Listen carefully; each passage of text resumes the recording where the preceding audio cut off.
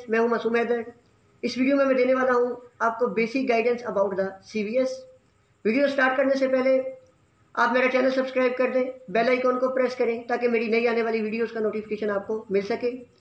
तो स्टार्ट करते हैं। सी एक लेंथी टॉपिक है जिसमें सिक्सटीन चैप्टर्स हैं। ये सारे चैप्टर आपने गाइडेंस से नहीं करने। अक्सर स्टूडेंट्स इसके बारे में पैनिक रहते हैं कि कौन सा चैप्टर कहाँ से करना है। यूनिवर्सिटी क्वेश्चन कौन कौन से इंपॉर्टेंट हैं कौन कौन से आते हैं। वाइवा और एमसीक्यू रिलेटेड चीज़ें कौन कौन सी हैं? तो आपने बिल्कुल परेशानी होना, मैं आपको कम्प्लीटली गाइड करता हूँ। अगर आप basic concept of the C पढ़ना चाहते हैं तो इसके लिए आप मेरी दूसरी वीडियोज़ देख सकते हैं। काइंडली अपनी बुक्स निकाल लें। जो जो इंपॉर्टेंट पॉइंट्स मैं आपको बता रहा हूँ, आप मार्क कर लें, ताकि आपका काम आसान हो जाए। सी में सिक्सटीन चैप्टर है, इसके दो पार्ट हैं, एक है हार्ट और दूसरा है सर्कुलेशन हार्ट में से फाइव चैप्टर है सर्कुलेशन में से इलेवन चैप्टर है। और इसमें से टोटल ट्वेंटी फोर मार्क्स का पेपर जो है यूनिवर्सिटी क्वेश्चंस बनते हैं ट्वेंटी फोर मार्क्स के।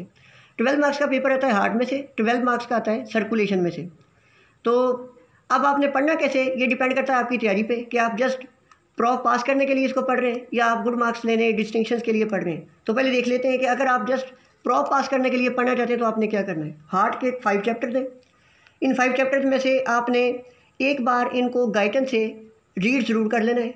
अब कौन कौन से चैप्टर रीड करने मैं आपको मार्क कर देता हूँ। ये चैप्टर नंबर नाइन पहला चैप्टर जो है cardiac muscle heart as a pump ये आपने सारा गाइडेंस रीड करना है। Rhythmical excitation of the heart chapter number ten इसको मार्क कर लें, ये भी आपने गाइडेंस से सारा रीड करना है। चैप्टर नंबर इलेवन जो है नॉर्मल इलेक्ट्रोकार्डियोग्राम ये आपने सारा गाइडेंस से रीड करना है। चैप्टर नंबर ट्वेल्व पे मैंने यहाँ पे क्रॉस लगाया हुआ इसकी वजह ये कि आपने सारा गाइडेंस रीड नहीं करना। जस्ट टू टॉपिक्स करने, वो मैं आपको इंडिविजुअल चैप्टर्स की डिटेल में बता देता हूँ। चैप्टर नंबर थर्टीन जो है ये वीआईपी मैंने लिखा हुआ है तो आप भी साथ इस तरह लिख लें, ये बहुत इंपॉर्टेंट है, क्योंकि इसके में से यूनिवर्सिटी क्वेश्चन के साथ साथ ऑस्पी और वाइवा रिलेटेड चीज़ें भी इसमें शामिल है। ये चैप्टर आपने कम्प्लीटली गाइडेंस से रीड करना है।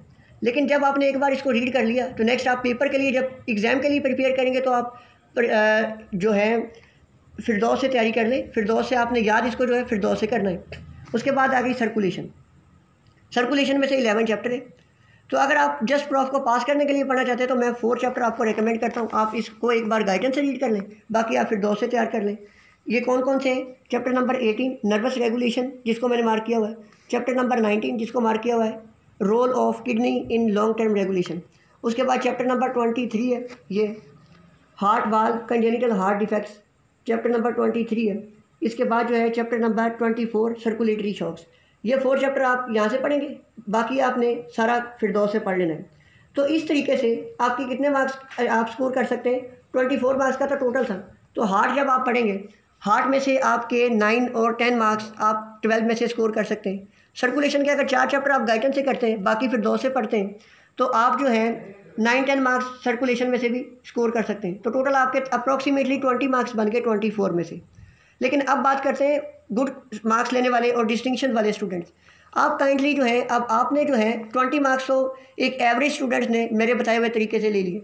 लेकिन अब डिस्टिंक्शन के लिए ऊपर जो है, आपको फाइट करनी पड़ेगी रिमेनिंग थ्री और फोर मार्क्स हैं जो उनके लिए. उसकी वजह क्या है, मैं इस पर बार बार स्ट्रेस क्यों दे रहा हूँ? क्योंकि मेरे साथ इसमें हो सक, हो चुका है एक बार बैड लॉग मेरी तीन मार्क्स से फिजियो में डिस्टिंक्शन रह गई और इसी तरह तीन मार्क्स से बायो कैम में. वजह क्या थी? मिस गाइडेंस कि एक एम सी क्यू मैंने स्किप कर दिया. और दो मार्क्स का ऐसी क्यू था जिसमें मसला हुआ था। लेकिन अब मैं इसके बारे में जब सोचता हूँ तो काफ़ी दुख होता है। खैर, अल्लाह ताला को जो मंजूर है, लेकिन अब मैं अच्छी जो अपनी डेफिशिएंसीज को पूरा कर रहा हूँ, इस बार इंशाल्लाह मेरी फिजी और बायो में डिस्टिंक्शन आ जाएगी और आपको भी साथ साथ गाइड कर रहा हूँ। आप ये जो मिस्टेक्स मैंने किए, आप इनको ना दोहराएँ। आप जो मैं जिन पॉइंट्स को मार्क कर रहा हूँ, आप काइंडली मार्क कर लें और अच्छे से इनको तैयार करें बढ़ घोटा लगाएँ, इंशाल्लाह आप आसानी से डिस्टिंक्शन ले सकते हैं। तो अब बात करते हैं डिस्टिंक्शन होल्डर्स के लिए। उन्होंने रिमेनिंग थ्री फोर मार्क्स हैं। उनको कैसे स्कोर करना है? उसके लिए आपने क्या करना है? ये सर्कुलेशन के जो इलेवन चैप्टर थे ना, आपने एक बार गाइडेंस से गो थ्रू कर लेना है। इलेवन के इलेवन चैप्टर आपने एक बार पढ़ने ज़रूर है। उसकी वजह ये होगी कि आपका कोई एमसीक्यू बुक की लाइन्स जो हैं, वो आपकी स्किप नहीं होगी। और ये फोर चैप्टर जो हैं जो मैंने जो एवरेज स्टूडेंट के लिए बताएँ ये भी कर लेने। और इसके साथ एडिशनली क्या कर लेना है? टू चैप्टर्स कर लेने जो मैं गुड स्टूडेंट्स के लिए रिकमेंड कर रहा हूँ, वो कौन कौन से seventeen chapter local and hormonal control of the tissues and chapter number twenty two cardiac failure वाला। आप ये कर लेंगे, इस तरह आपके रिमेनिंग थ्री फोर मार्क्स हैं, वो भी आप स्कोर कर सकते हैं और आसानी से काम कर सकते हैं। तो अब चलते हैं बेस इंडिविजुअल चैप्टर्स की डिटेल पर कौन कौन सा यूनिवर्सिटी क्वेश्चन इंपॉर्टेंट है। तो अब मैं आपको बताने वाला हूँ चैप्टर नंबर नाइन हार्ट का ये पहला चैप्टर है। इसमें से कौन से इंपॉर्टेंट यूनिवर्सिटी क्वेश्चन थे जो आपने एल क्यूज़ और एस क्यू के तौर पे आ जाते हैं। पहला तो आपने ये ग्राफ है, ये यहाँ पे देखें। ये है action potentials in the cardiac muscle इसके ऊपर मैंने ये निशान लगाया है, आप भी इसको मार्क कर लें, ये बहुत इंपॉर्टेंट टॉपिक है। ये जो है यूनिवर्सिटी क्वेश्चन है यूएचएस में आता है अक्सर। ये जो डायग्राम बनी हुई है action potential in the rhythmical action potential in millisecond जो लिखा हुआ है ना, ये आपने जो दोनों डायग्राम से ऊपर वाली, ये आप इस पर फोकस कर लें अच्छे से, इसको मार्क कर लें। ये दोनों डायग्राम आपने बनानी है। इसके साथ इंपॉर्टेंट चीज़ जो है, जो यूनिवर्सिटी क्वेश्चन है, अक्सर इंटरनल में आता है और बार बार पेपर में आया वो ये है समरी इस पर आप लिख लें वेरी इंपॉर्टेंट जैसे मैंने लिखा है, ये देखिए ये समरी है, ये दो डायग्राम से अब आपने इसमें करना क्या है? ये समरी के जो स्टेप्स हैं ना, ये यहाँ से स्टार्ट होता है फ़ेज़ ज़ीरो और यहाँ तक. ये ये समरी आपने याद रख लेनी है और उसके साथ साथ ये जो दो इंपॉर्टेंट डायग्राम्स है, एक ये और एक ये. ये पूरा क्वेश्चन जो है, ये इस तरह आता है कि एक्शन पोटेंशियल कार्डियक मसल में कैसे होता है? आपने जो है ये बना देना ये इंपॉर्टेंट यूनिवर्सिटी क्वेश्चन है और उसके बाद जो है ये क्वेश्चन आ, आ गया refractory period in of the cardiac muscle अब इसमें से क्वेश्चन कैसे बनता है कि अक्सर वो सिर्फ़ वैल्यू पूछ लेता है कि रिफ्रैक्टरी पीरियड क्या होता है इसकी वैल्यू कितनी है डेफिनेशन आपको आनी चाहिए.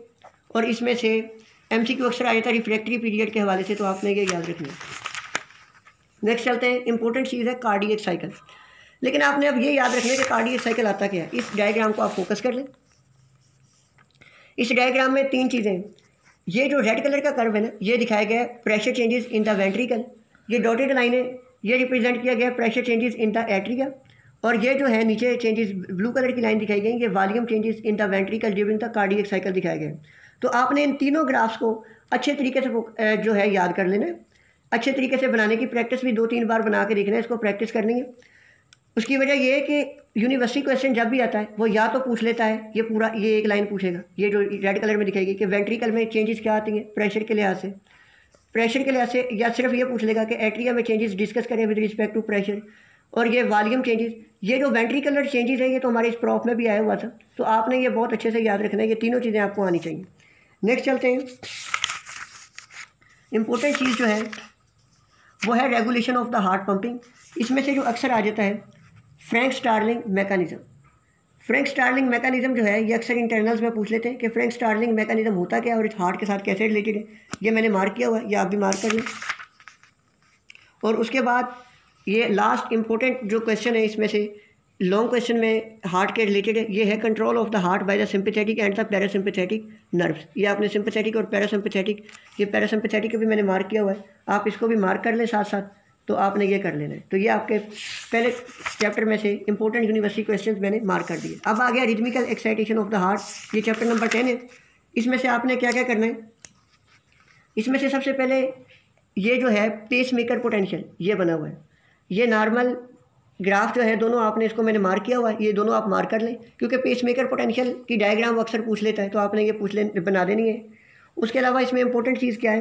कि flow of the electrical impulses in the heart ये आपने याद रखनी है। ये देखें रैपिड वेंट्रिकुलर ट्रांसमिशन सिस्टम ये है। एक पार्ट इसमें से उठाना है। Atrio ventri AV nodal delay ये शामिल है इसमें। इसकी समरी आपको मिलेगी, ये डायग्राम में। यह डायग्राम में उसने टोटल दिखाया कि इम्पल्स कैसे जनरेट होती है और हार्ट में कैसे फैलती है। ये इंपॉर्टेंट यूनिवर्सिटी क्वेश्चन है पूछता है कि वो पूछेगा कि हार्ट में इलेक्ट्रिकल इम्पल्स का फ्लो दिखाएँ और बताएँ कि कितना सेकंड कितने कितने सेकंड लेती है कहाँ से कहाँ तक पहुँचने के लिए? तो आपने इसको मार्क कर लेना है। ये डायग्राम आपने याद रखनी है, ये बना लेनी है। तो इसी में बस यही दो इंपॉर्टेंट क्वेश्चन हैं। अब नेक्स्ट चलते हैं। नॉर्मल इलेक्ट्रोकार्डियोग्राम इसमें आपने क्या क्या चीज़ें याद रखनी है? सबसे पहले आप इस डायग्राम को फोकस करें। ये डायग्राम बहुत इंपॉर्टेंट है। बार बार यूनिवर्सिटी क्वेश्चन में पूछी गई है। क्या पूछता है कि ईसीजी के नॉर्मल डायग्राम बना के दिखाएँ? तो आप ये नॉर्मल डायग्राम बना देंगे। उसके बाद क्या करेगा? इसमें आपने जो चीज़ें याद रखनी वो क्या है कि ई में वेव्स कौन सी होती हैं? सेगमेंट्स कौन से होते हैं? इंटरवल्स कौन से होते हैं? जैसे उसने ये यहाँ पे दिखाया हुआ है P R interval P R interval की ज़रा फोकस करें। ये पी आर इंटरवल को दिखाया हुआ है। तो इस तरीके से आपने ये इंटरवल पूछने और ये आपको पता होना चाहिए किस इंटरवल का कितना टाइम पीरियड होता है। कितना टाइम लेता है कौन सा इंटरवल किस सेगमेंट का कितना टाइम होता है? बस आपने ये डायग्राम को अच्छे से फोकस रखना है। ये इंपॉर्टेंट ऐसी क्यों है। इसके बाद जो नेक्स्ट इंपॉर्टेंट चीज़ें ये है लीड ऑफ़ द इलेक्ट्रोकार्डियोग्राम ये lead one lead two, lead three, इन सबको आप मार्क कर लें। इसके इंपॉर्टेंट इंपॉर्टेंट चीज़ें आपने क्या याद रखनी कि टर्मिनल कि लीड वन का पॉजिटिव टर्मिनल और नेगेटिव टर्मिनल कहाँ पे होता है? टू का कहाँ पे होता है? ये आपने याद रखना है। और उसके बाद जो मैंने इंपॉर्टेंट चीज़ यहाँ पे, ये वी आई पी लिखा हुआ, आप लिख लें इस पर ये इंथोबियन एंगल है। और इसके लिए डायग्राम आपने ये फॉलो करनी है, ये बनी हुई डायग्राम ये डायग्राम जो बनी हार्ट के ऊपर, जब हम लीड्स लगाते हैं तो एंथोबियन एंगल ये इंपॉर्टेंट ऐसी क्यों है। ये आ जाता है, आपने ये याद रख लेने और एंथोबियन ला ये बात बात एस सी क्यू या ओसपी के क्वेश्चन में पूछ लेते हैं कि वट इज़ एंथोबियन ला ओसपी में दो नंबर का क्वेश्चन आ जाता है। तो आप ये याद रखेंगे तो आप नेक्स्ट चलते हैं। चैप्टर नंबर ट्वेल्व मैंने आपको पहले भी बताया था कि आपने पूरा नहीं करना। अब इसमें से जस्ट इंपॉर्टेंट टॉपिक्स टू हैं? वो कौन से हैं, वो मैं आपको मार्क करवा देता हूँ। वो आप मार्क कर लें। एक तो mean electrical axis of the heart ये कितने डिग्री होता है? जैसे मैंने यहाँ पे ये मार्क किया फिफ्टी नाइन डिग्री होता है। कम अज़ कम बस आप ये इतना सा पैरा पढ़ लें। उससे आपको पता चल जाएगा आपका एम सी क्यू स्किप नहीं होगा, क्योंकि ओसपी में अक्सर पूछ लेते हैं कि हार्ट का एक्सिस मीन एक्सिस कितना होता है, उसकी वैल्यू कितनी होती है। तो ये आप बस इतना याद रख लें। उसके बाद इसमें से जो दो इम्पोर्टेंट टॉपिक हैं, जो आ जाते हैं अक्सर करंट ऑफ़ इंजरी ये मार्क कर लें। और इसके साथ है एक जे पॉइंट अब ये जे पॉइंट ना सिर्फ़ ऐसी क्यों में आता, बल्कि क्या है उस पर में पूछ लेते हैं कि जे पॉइंट क्या होता है, इसकी सिग्निफिकेंस बताएँ। करंट ऑफ़ इंजरी की सिग्निफिकेंस क्या है? ये पूछ लेते हैं अक्सर ओसपी में या ऐसी क्यों आ जाता है। तो अब नेक्स्ट चलते हैं। थर्टीन हार्ट ये बहुत इंपॉर्टेंट चैप्टर मैंने इस पर वी इसलिए लिखा है। आप भी वी लिख लें, उसकी वजह यह है कि इसमें से ऐसी क्यों भी आते हैं और बात बात ये होता है कि ओसपी मुश्किल आती है। जैसे इस बार हमारी ओसपी मुश्किल आई थी, उसमें तकरीबन फाइव से सिक्स ट्रेसिस थे ईसीजी के। वो सारे इसी चैप्टर में से आते हैं तो आपने वो अच्छे से याद रखने। अब कौन कौन सी चीज़ें इसमें? पहले है ट्रैकी कार्डिया ट्रैकी कार्डिया को आप मार्क कर लें। ब्रेडी कार्डिया इसको मार्क कर लें इसको मार्क इसलिए किया? है कि इसके ख़ास तौर पे आपने जो इसमें ना कोई भी टॉपिक है, उसके ट्रेसिस को मार्क करना। है ये ट्रैकी का कार्डिया का आपको कम अज़ कम पता हो ट्रेसिस मार्क कर लेंगे ना तो आपको पहचान हो जाएगी कि ये किस कंडीशन को रिप्रेजेंट कर रहा है। बस, क्योंकि ऑस्पी में अक्सर ऐसे ही पूछता है, वो कोई ट्रेस बना के पूछ लेगा कि इसमें कौन सा इंटरवल अब नॉर्मल है, या ये कौन सी कंडीशन है तो आपने वो बतानी होती है। उसके बाद आ जाता है हार्ट ब्लॉक हार्ट ब्लॉक बहुत इंपॉर्टेंट है। ये कोई भी डिग्री मतलब अक्सर आ जाता है कि जैसे फ़र्स्ट में बना हुआ ये फ़र्स्ट डिग्री हार्ट ब्लॉक है। ऐसे नोट ब्लॉक है। इसमें थोड़ी सी ये देखें, ये इंटरवल के दरमियान गैप एक वेव से दूसरी वेव में गैप ज़्यादा आ रहा है तो ये हार्ट ब्लॉक है, ये फ़र्स्ट डिग्री हार्ट ब्लॉक है। इसको आपने कम्प्लीटली याद रखना है, अच्छे से याद रखना है, ये सारे ट्रेसिस इसके ट्रेस मार्क कर लें। उसके बाद है ये प्रोलॉन्ग पी आर इंटरवल इसको मार्क कर लें। तो उसके बाद आपने ये जो इसका नीचे लिखा हुआ है, ये ड्यूरेशन लिखा हुआ है, इसको मार्क करना है साथ, ताकि आपको पता चल जाए कि नॉर्मल पी आर इंटरवल का ड्यूरेशन कितना होता है और इसका ड्यूरेशन कितना होता है? उसके बाद ये सेकेंड डिग्री हार्ट ब्लॉक इसके trace third degree heart block इसके ट्रेस ये जो है आपने तीनों याद रखने ताकि आपको हार्ट ब्लॉक कंप्लीट हो जाए क्योंकि इसमें से ये इंपॉर्टेंट ऐसी क्यों है कोई एक हार्ट ब्लॉक वो पूछ लेते हैं. इसके बाद नेक्स्ट है प्री मेच्योर कॉन्ट्रेक्शन तो मैंने आपको पहले बता दिया, इसमें कोई भी है थ्योरी बेशक आप जैसे भी पढ़े, लेकिन आपको कम अज़ कम ट्रेसिस के बारे में पता होना चाहिए. जैसे ये दिखाया हुआ है एट्रिकल प्री मेच्योर बीट ये दिखाइए. ये atrio ventricular total premature contraction ये है। उसके साथ साथ ये दो इंपॉर्टेंट ट्रेस बच गए। अब आगे पेरोक्सीजमल ट्रैकिकार्डिया पेरोक्सीजमल ट्रैकिकार्डिया में आपने क्या बताना है? इसके ट्रेसिस बस आपने याद रखने के कैसे होता है। ये दिखाया गया है पेरोक्सीजमल एट्रियल ट्रैकिकार्डिया ये वेंट्रिकुलर ट्रैकिकार्डिया दिखाया गया है यहाँ पर। ये देखें वेंट्रिकुलर ट्रैकिकार्डिया इसके ट्रेस को आपने याद रखना। है उसके बाद ये आ जाती है नेक्स्ट इंपॉर्टेंट टॉपिक है इसमें से। तो समराइज करना इस चैप्टर में, आपने जितने ट्रेसी देना, बस उनको मार्क करना है और वो अच्छे से याद रखने फिर वेंट्रिकुलर फिब्रिलेशन ये कभी कभी आ जाता है।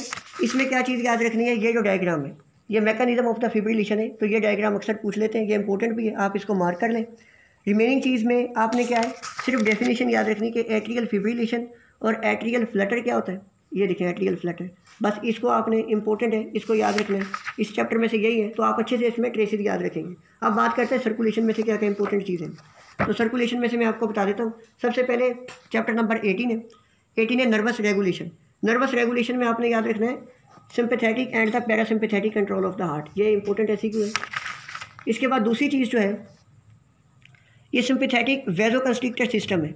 अब इसमें आता है कि सिंपथेटिक कंट्रोल जो होता है वेजो मोटर सेंटर से।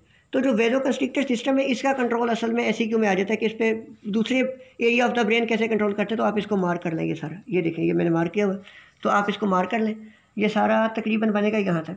तो यहाँ तक आप इसको मार कर लें। ये इंपॉर्टेंट है सीखिए इसके बाद इसमें से रिफ्लेक्सिस बहुत इंपॉर्टेंट है। खास तौर पर ये मैंने मार किया हुआ बैरो रिसेप्टर रिफ्लेक्स आप बैरो रिसेप्टर रिफ्लेक्स को अच्छे से मार्क कर लें। बैरो रिसेप्टर रिफ्लेक्स को याद रखना है क्योंकि अक्सर इसमें से वाइवा में पूछ लेते हैं कि बैरो रिसेप्टर कहाँ होते हैं। बैरो रिसेप्टर का फ़ंक्शन क्या है? ये वाइवा में भी पूछ लेते हैं। और उसके साथ साथ ये पूछ लेते हैं कि बैरो रिसेप्टर रिफ्लेक्स क्या होता है? ये ऐसी क्यों में आ जाता है इंपॉर्टेंट इसको आपने ड्रा करना सीखना है। और उसके बाद नेक्स्ट इंपॉर्टेंट चीज़ है C N S ischaemic response इसको भी आप मार्क कर लें। ये स्कीमिक रिस्पॉन्स एक बहुत इंपॉर्टेंट चीज़ है।